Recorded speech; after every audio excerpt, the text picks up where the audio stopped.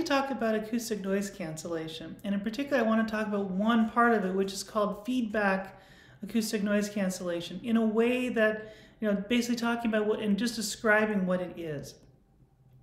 Because in the end, I have an input sound, and the whole point is I really just want the input sound going to the person's ear, and the whole rest of the environment disappears.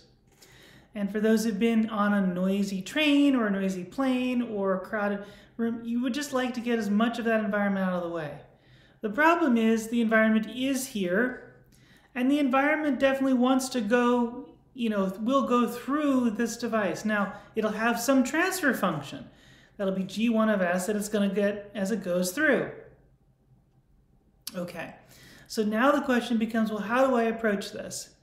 And the way that feedback is always done is there's a microphone sitting inside the system, pretty close to where the ear, you know, the ear structure is. So that way you can go, all right, let me not only hear, let me be able to hear the noise, but I'm also hearing what my speaker is. Now the good thing is I know what I'm playing, right?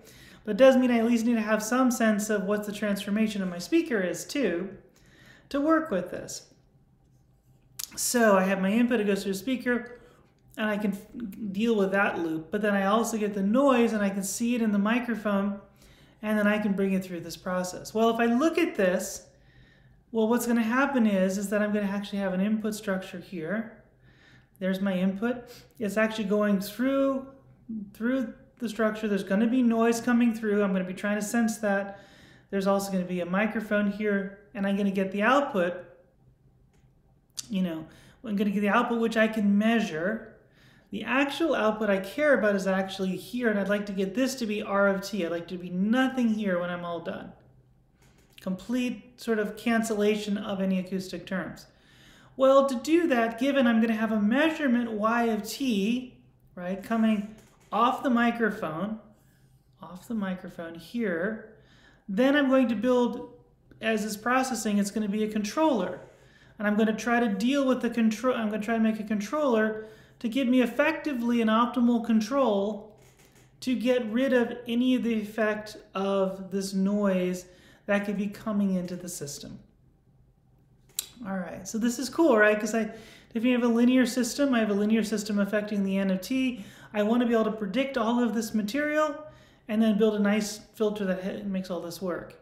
Now, one thing that's needs to be brought up, right, is the fact that the time I get from the microphone going all the way through into the speaker is the same amount of time I get for things traveling from one edge of the microphone into the ear. I get almost no delay at all in here. I get a little bit of acoustic timing, but not much to work with, depending on where things are sitting.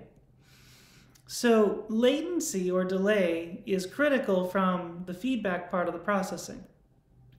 Second, we also know that latency is a huge problem in terms of any of the uncertainty of any linear system I'm going to build, any linear controller. And so that's going to still show up here too. So in both places, I really, really care about the delay aspects in these systems.